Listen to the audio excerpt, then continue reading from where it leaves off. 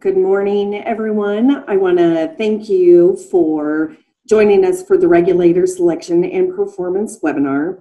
Uh, today we're going to have Ben Carr be with us, but there's a few minor things that I wanted to go over before the, the Ben takes over. So we will be recording today's webinar.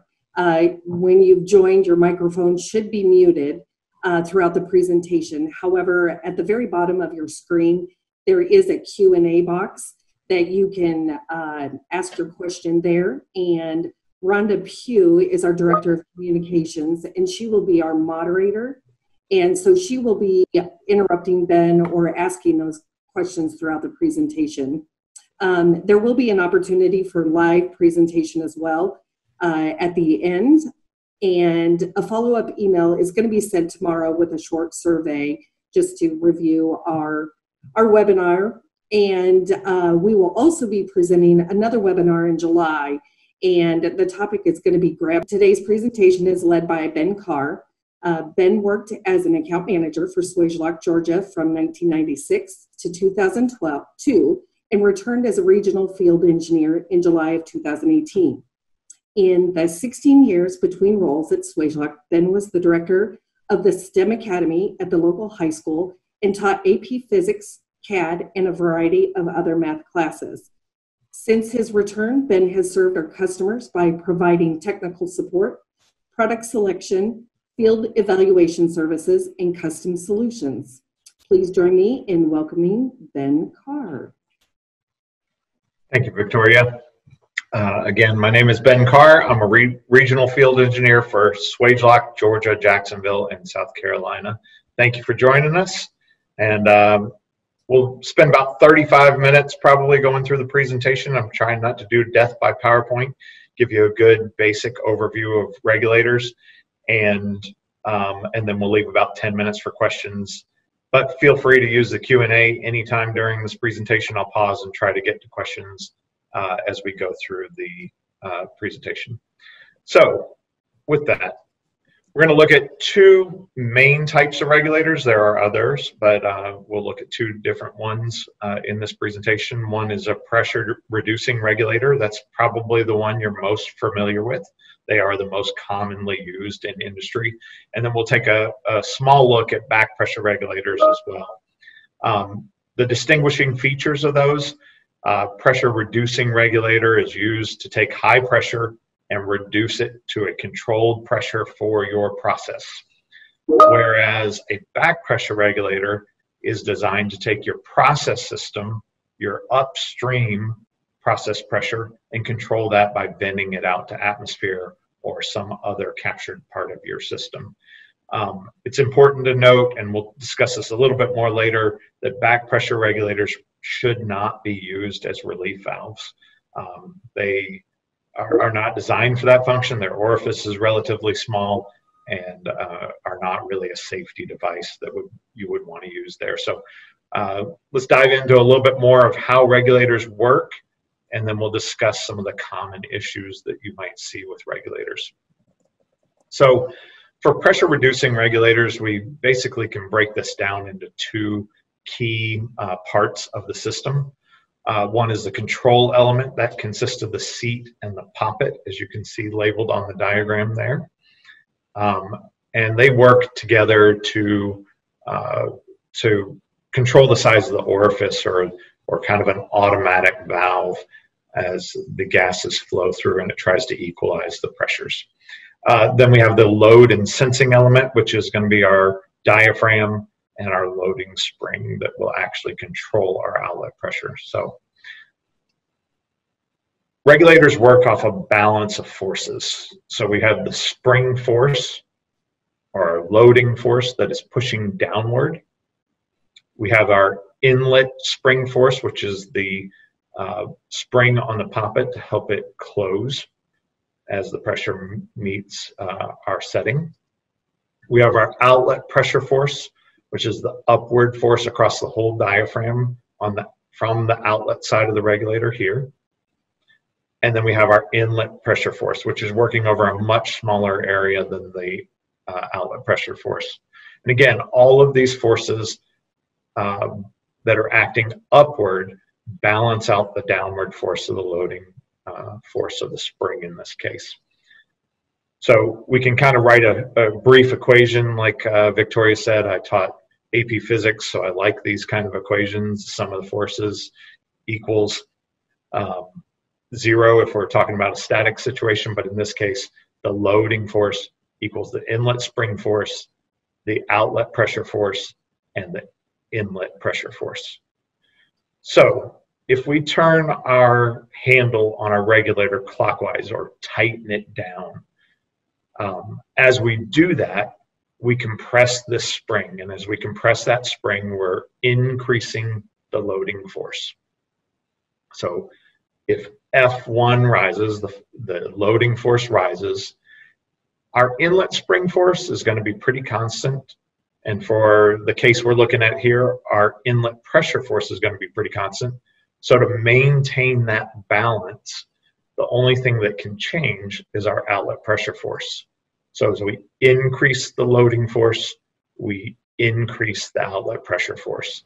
And that's the basics of how a regulator would work. So as you turn your handle down, you get more outlet pressure force and vice versa. If I were to turn my handle back the counterclockwise direction, my loading force would reduce and my outlet pressure would reduce, assuming this is not a static system. And we can look at that or we can uh, spend some time on that later.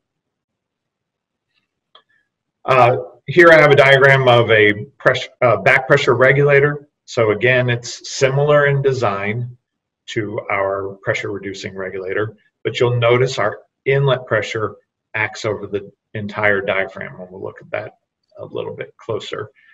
Our loading element is still, in this case, a spring. Our seat is initially closed.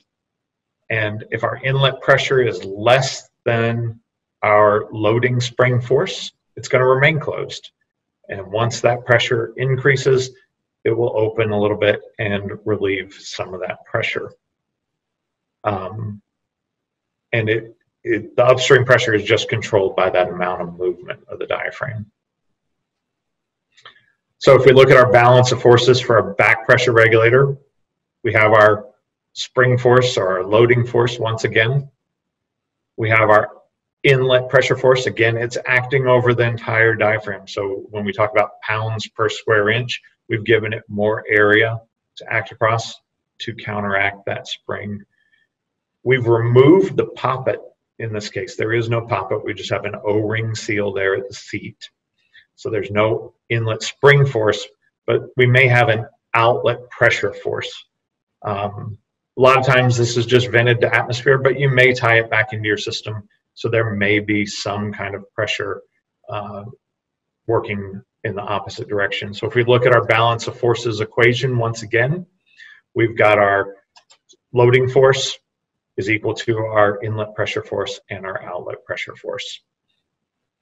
So if our inlet pressure force increases, then uh, that would open to uh, open the regulator and allow some of that uh, system fluid to vent.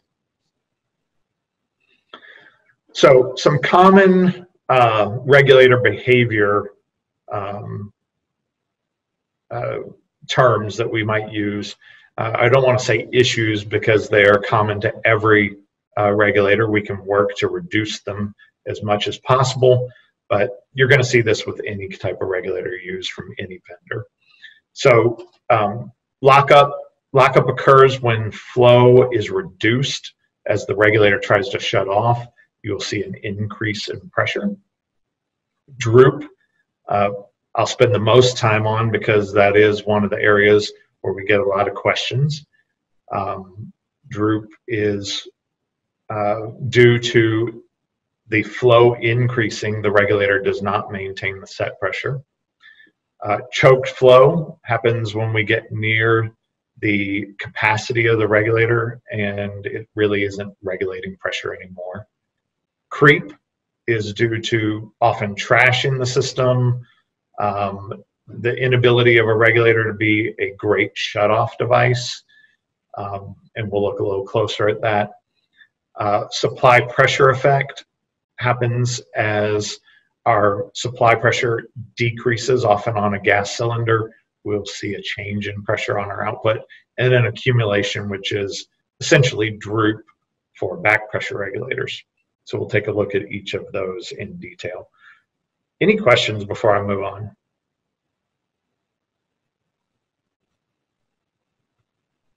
Okay, well, I'll assume from uh, no no uh, questions there, and we can again use the Q and A as we go. So if you have any, please feel free to input them. So what we're looking at here is a basic flow curve. We'll use this to discuss some of the terms. Um, we've removed all the units and, and some of the other complications that come with real flow curves just to simplify this down so we can take a look at each of these. So we have flow along the bottom. Flow is increasing as we move from left to right. And then our outlet pressure on the vertical axis where we are increasing pressure as we move upward. So we're going to first talk about lockup. That's that region right there at the left-hand side of the graph where you see that steep uptick of uh, pressure. So as flow decreases when we shut off the regulator, it needs a little bit of help to close the seat. And while that is occurring, you will see a rise in your pressure. So let's say we shut off this downstream valve and the flow is going to zero through the regulator, we will see that rise in pressure. And it needs that inlet pressure force to kind of help seat it. Again, they're not great shut-off devices. Uh, they're not designed for that. In this case, we see the flow for this particular flow curve for this particular regulator, and we can see approximately a 5 to 10 psi lockup range. So that's going to be a, a increase in pressure on our pressure gauge and it has a few effects. Uh, you, if you have very sensitive equipment downstream, you could risk damaging that. Um, secondly, uh, depending on if you set your pressure while there's no flow, we may see a different characteristic, and we'll look at that more as we look at droop. The easiest way to prevent lockup is use an upstream isolation valve. Shut off with an actual valve. Don't rely on your regulator to shut off, and we'll We'll talk more about that also later. But that prevents any chance of there being uh, this lockup range where you may have an increase in pressure that could potentially damage your system. We address it a couple of different ways inside our regulators as well, uh, provided that uh, we're dealing with the correct pressure ranges. If we size our regulator correctly, we can make sure that uh, we reduce this lockup effect. If it's sized correctly, it'll have the proper seats for the pressure control range we're looking at, and that softer seats will allow it to seal better. Again, I'm going to spend a fair amount of time on droop. Uh, we looked at lockup, which was the far left range of our graph. Droop is this middle zone. Uh, it is where our regulators want to operate. Um, and it, again, all of these terms are common to all regulators, no matter who the manufacturer is. So let's look at why this occurs. As I click through these next few slides, I want you to watch the spring, the loading element. So as flow increases through the system, the regulator has to open more. And you can see as we do that, I'll click, I'm gonna go back up and let you see that one more time you see that the regulator spring is getting longer to open this poppet more to allow more flow through the regulator. And as it opens more, as that spring gets longer, the spring is no longer compressed as much. And since the spring is not compressed as much, then it's not providing as much force, and that upsets our balance of forces. So again, if we look at our equation, if we reduce our loading force because that spring has gotten longer, then our outlet pressure force is going to decrease as well. So as again, as that F1 decreases, F3 must also decrease. So that's where we see that droop in the curve, the drop off in pressure as flow increases and the demand on the regulator increases. So if you know your system is always going to have a specific flow and you've got a specific pressure in mind, droop's really not that big a deal to you. But we know in most cases that's not how your actual system works. You've got a range of flow, different devices using the same system fluid uh, downstream of that regulator. So we've got this range of flow we're dealing with. So if we overlay our uh, flow curve, we can see, okay, we've got this flow curve. All our pressures are underneath that flow curve. It looks like we're pretty good to go. Problem is, when we actually set this, we have to look at the flow curve for our actual setting. So we actually bring it down to our set pressure.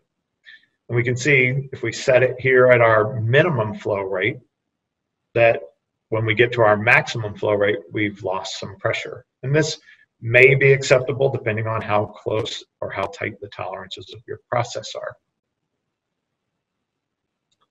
We can address it by trying to set this pressure at our maximum flow rate. But then as flow demand decreases, we'll see an actual increase in pressure. And again, this may be a compromise for your system. It gets pretty bad if we bench test our regulator. So if I bench test my regulator, I got little to no flow, I'm kind of in this lockup range when I set it, then I take it out and I stall it in my system, and suddenly I'm not achieving the pressure I expected, and then as we increase flow, it gets even worse. Um, so we have to be careful when we're bench setting it. We have to factor that flow rate in and maybe set it at a higher point from the bench so that we kind of hit that middle of the range or that compromise.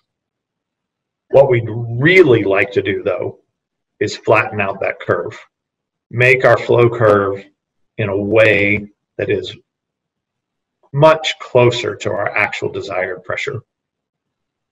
And we can do that a couple of different ways. Um, the, the easiest way, again, is selecting the right regulator.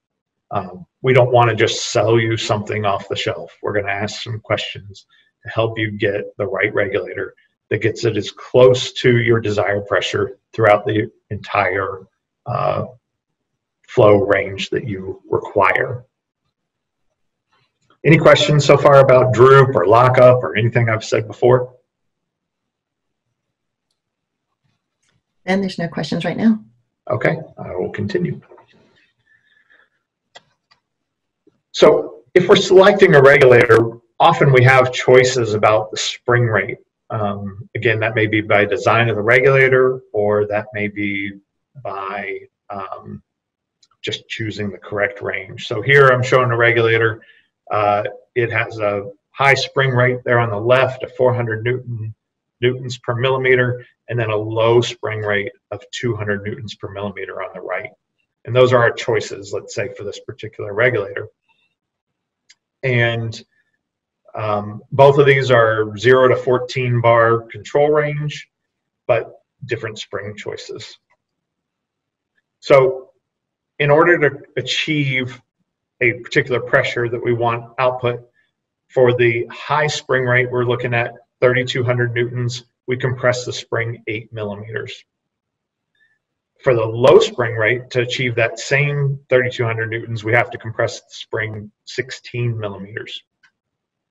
So as that regulator opens to meet the flow that we need, and it moves downward 2.5 millimeters, that spring's elongating 2.5 millimeters. So in the case of the high spring rate, we can see that we have a, a change in the loading spring rate of a thousand newtons. We, we reduce the amount it's pushing down by a thousand newtons. And in the low spring rate, because that 2.5 millimeters is a much smaller percentage of its compression, we can see that it only reduces the loading rate by 500 newtons. And what that means, again, that we're getting pretty deep in the details here, but what that means for you on that same 0 to 14 bar control range, the droop for the high spring rate is 3.2 bar, whereas the droop for the low spring rate is only 1.6 bar. So again, choosing the right regulator, using the flow curves to determine what will best meet your system requirements and make sure that you get the performance you expect from a regulator. Again, if you just call up and order one off the shelf, uh, maybe it's got the high spring rate and it doesn't give you what you want there. So one other way we'll, we can address it, and I, am not going to spend a lot of time doing this um, just because of uh, our time limitations on this webinar, is we can remove the spring and use what we call a dome loaded regulator.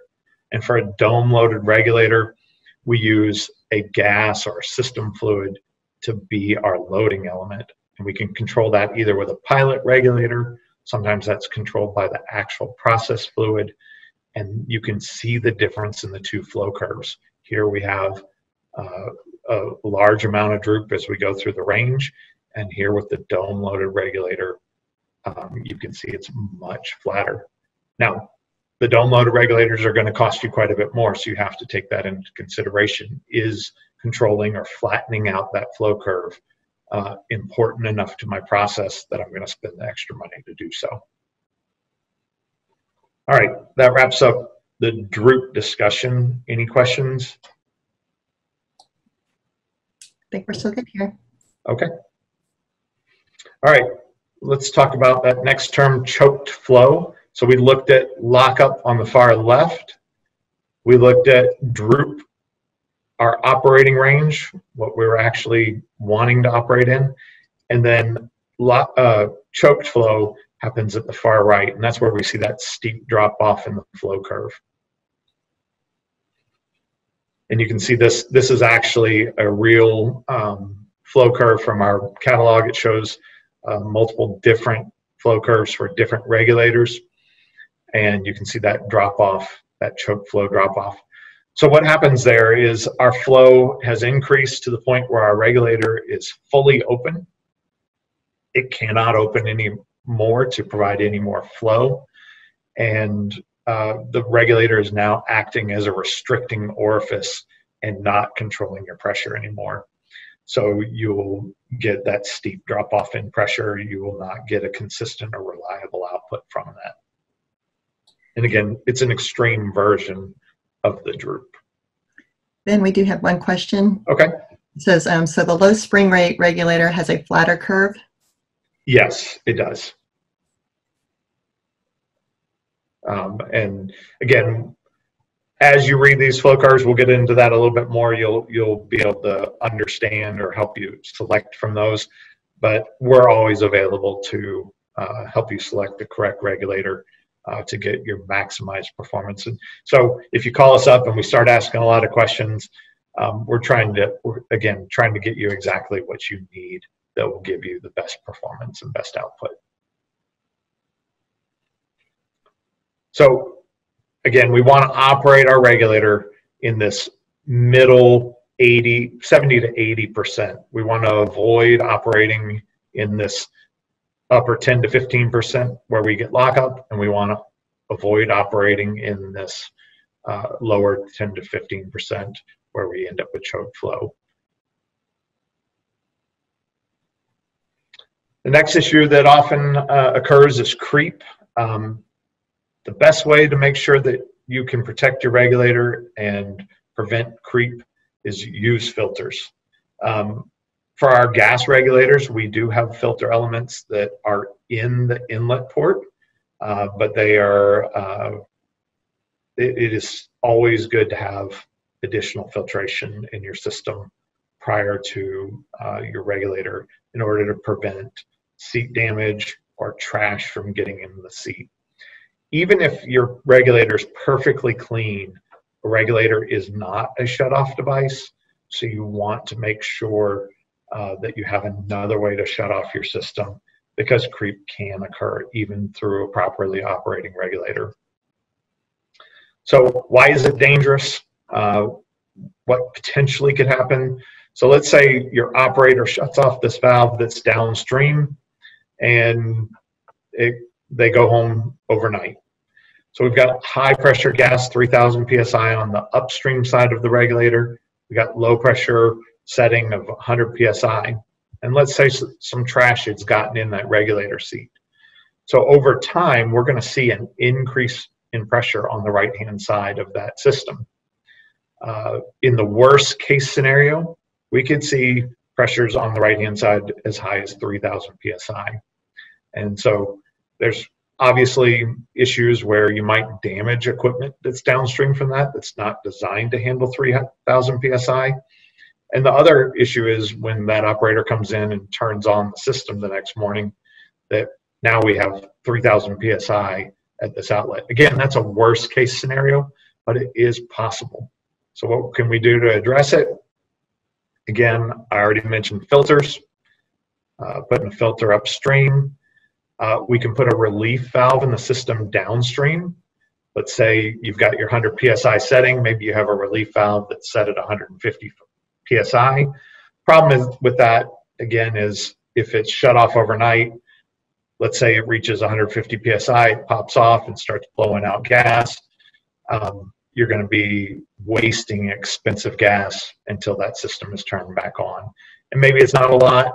Maybe it's just you know every now and then the regulators reset or sorry the relief valve is resetting but it is a consideration just like we talked about with lockup the easiest way to prevent it is a shut off upstream that might be your cylinder valve or if this is in a process uh, line maybe it's an automated valve that shuts off uh, when other equipment shuts down I have another So- question for you, Okay. Ben.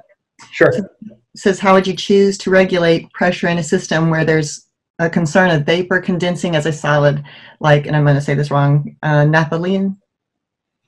Yeah, so we do have heated regulators available um, that can, as the regulator or as the system fluid moves across the seat, uh, we can add energy to that to prevent that from happening. Um, and in some cases, we also have vaporizing regulators where the opposite may be true. You've got a liquid that you want to take to a gas, and we add heat to that as well. So, and I can address that a little bit here at the end as well. Thank you. Okay, supply pressure effect uh, is the last one for pressure reducing regulators that we're going to discuss. Um, this often is con- confusing to people, uh, and it is mostly associated with a bottled gas, a cylinder of gas. As your supply pressure or your inlet pressure drops, the outlet, outlet pressure increases. Um, and vice versa, when your inlet pressure goes up, let's say you've now adjusted your regulator because you saw this increase in pressure as your cylinder dropped, and you put a new bottle on and your inlet pressure is now higher, your outlet pressure will actually drop back down. You you know find yourself going back and adjusting the regulator again. So uh, we can address this a couple of different ways, and we'll talk about that as well.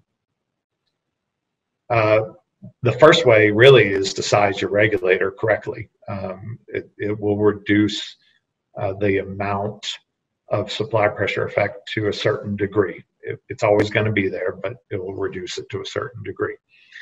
Um, again, we unlike pressure gauges where maybe let's say you had a zero to 100 psi uh, system, you might use a zero to 200 psi gauge in order to have the gauge read in the middle when it's at its highest pressure.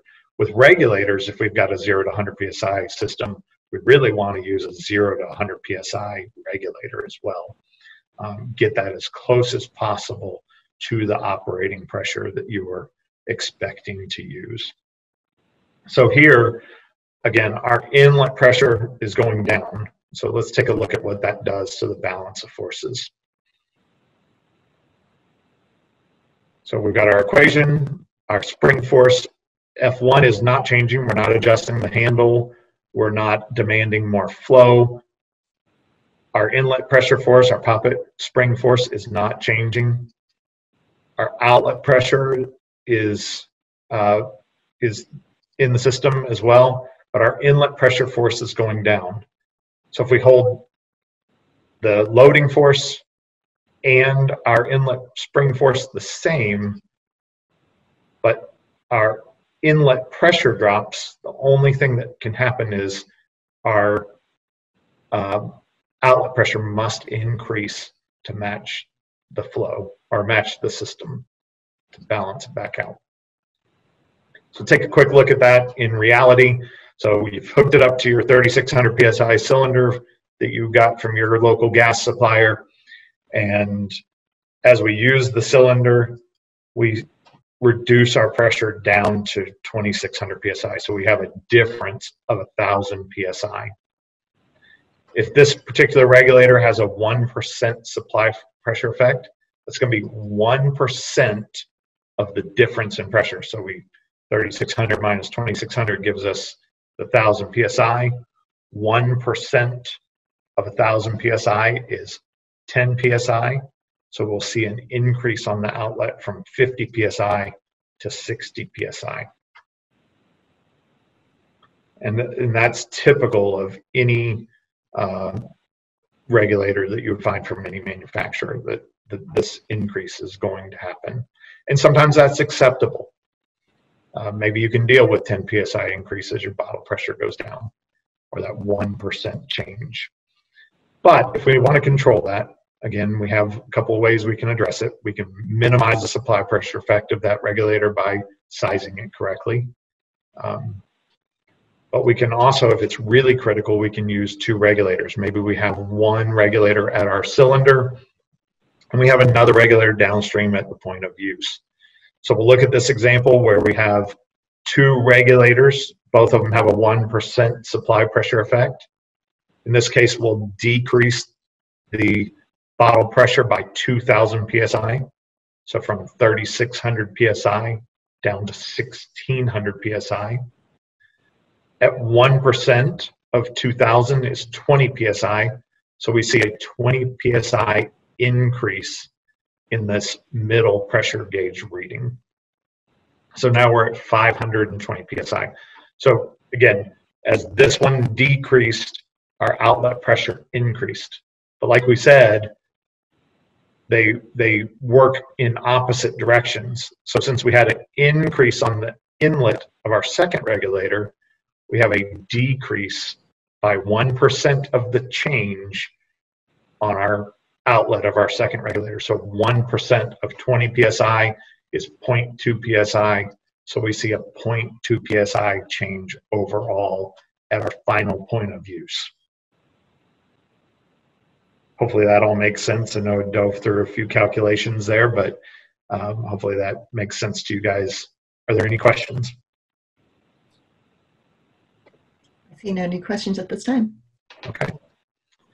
Uh, here's just a couple of photos. This is a, a high pressure regulator knocking the pressure down uh, to a uh, lower pressure for one of our pilot regulated, uh, or sorry, our pilot piloted dome loaded regulators. Uh, and this again is to reduce that supply pressure effect as we have changes upstream and giving us a nice steady uh, flow out the other end and constant pressure. Uh, this is an example of our KCY regulator. This is actually those two regulators that we were looking at in the previous example in one package. So we have a regulator in the lower half that has an anti-tamper nut, so you cannot change that regulator. And then the second regulator on top, so you can have your supply pressure coming in and have minimizing that supply pressure effect. So if you've got critical applications, uh, that is one way you can address that without having to add two regulators to your system. All right. And then the last term was back pressure regulator, or for back pressure regulators, it's accumulation. Again, I said it's like droop for your um, back pressure regulator. The regulator is fully opened and it cannot control the flow anymore. So as we look at the flow curve, it's becoming a restricting orifice then we get this choked flow down here at the end again. And we see a pressure increase along the way.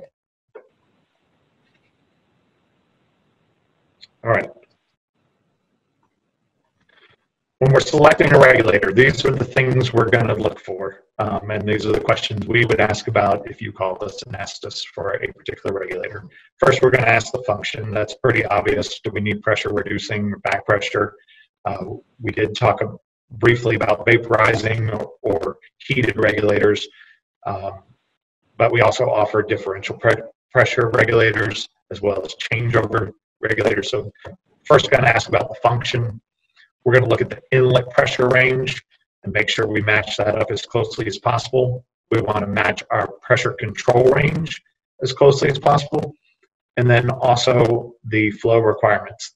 Really, two, three, and four are the most important pieces uh, to make sure we get you a properly sized regulator that's going to work in your system the way you expect. Uh, we also will address system compatibility, uh, making sure the seat materials aren't going to be uh, eaten away by whatever your system fluid may happen to be. And then we'll look at options, anti-tamper nuts, venting options uh, that are available. And then finally, and, and kind of the least important, is the end connections. Obviously, we have to have an end connection that can handle the flow requirement, but we can adapt the end connection to what you need. Uh, we really want to focus in on that two, three, and four flow requirements.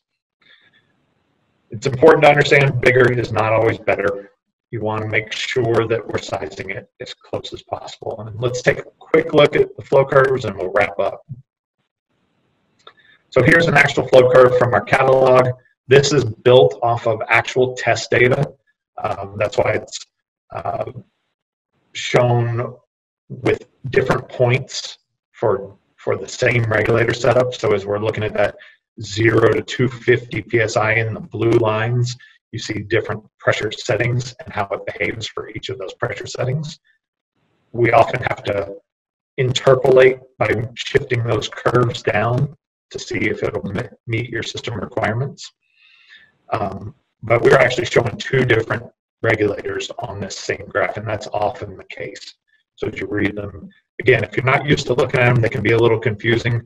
Um, if you take a little bit of time, you, you can figure it out, but we're always available to help you um, select and read these as well. Um, secondly, our inlet pressure is shown on these curves. In this case, it's shown by a letter. So if we're looking at the maximum inlet pressure for 500 psi, we can see that there are three different curves that match that, the letter J there. Sometimes the uh, flow curve will also just show the pressure, inlet pressure directly on the graph. Our outlet pressures are shown on the vertical axes. We show it both in PSIG and in bar. That's typical of our flow curves.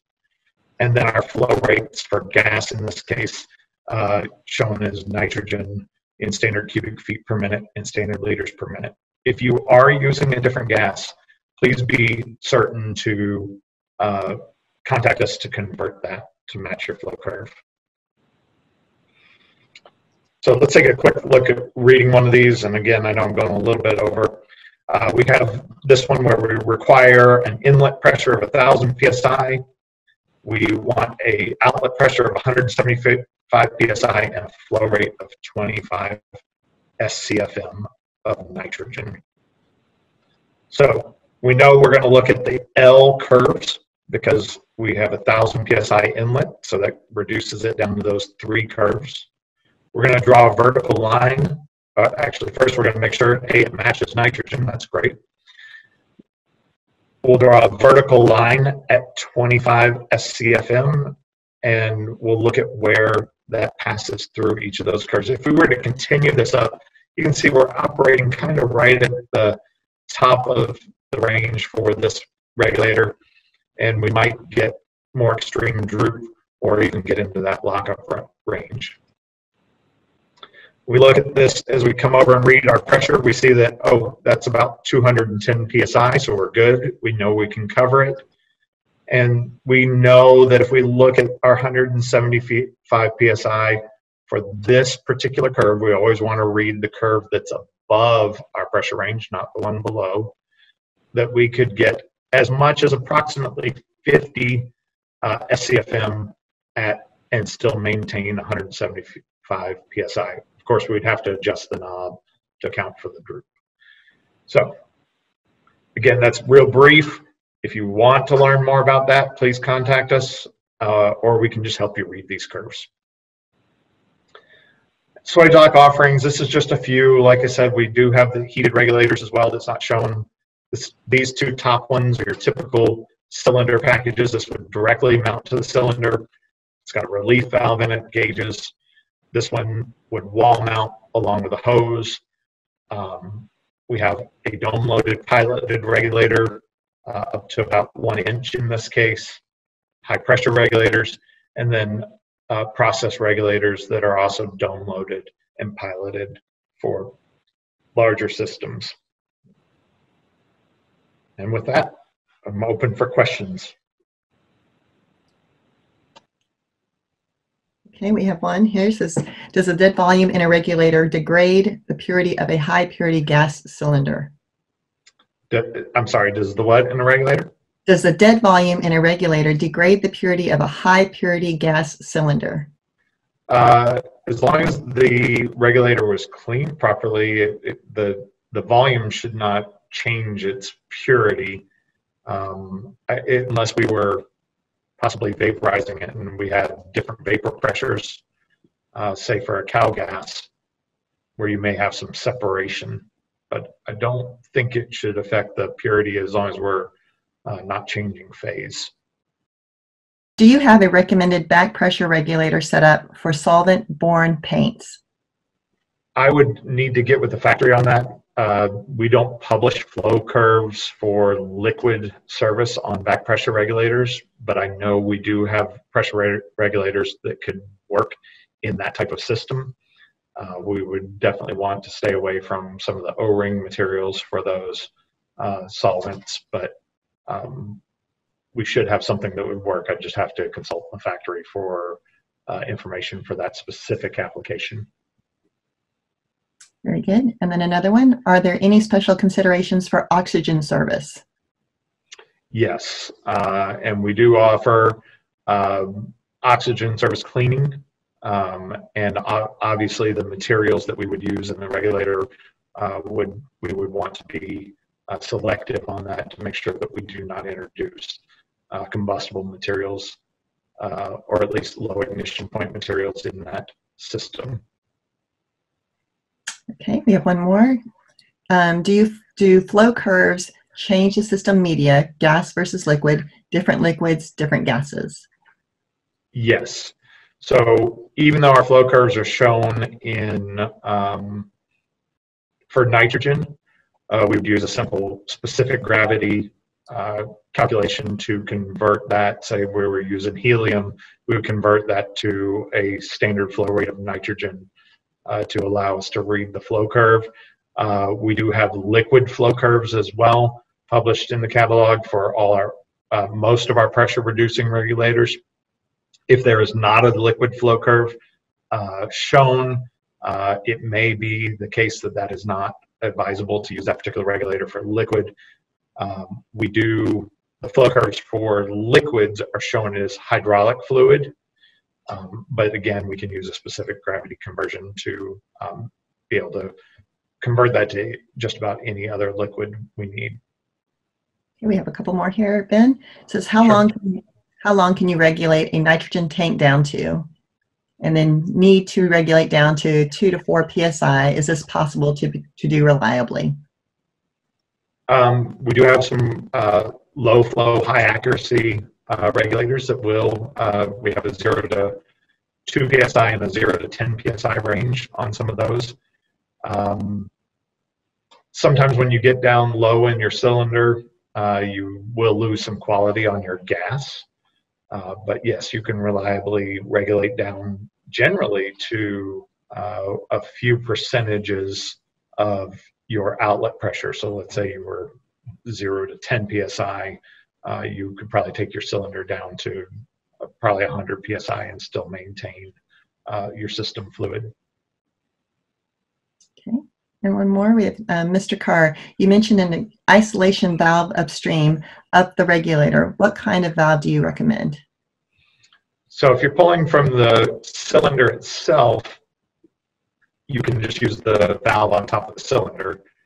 Um, depending on the gas, if you're using oxygen, we want to use a, a slow closing uh, needle type valve that requires multiple turns so we don't shut off high pressure gas, high pressure oxygen uh, quickly. Uh, but for any inert gases or, or liquids, you could use uh, a ball valve to shut that off as long as it's rated to uh, your inlet pressure, maximum inlet pressures. Did you have another one? Nope, I think we're good. Okay. Well, thank you so much for your time. Uh, please feel free to email us uh, with any other questions. Again, uh, Victoria will be sending out a survey. We'd appreciate you uh, completing that for us. And uh, please reach out to us if you need any help selecting a regulator for your system. Have a great day. Thank you.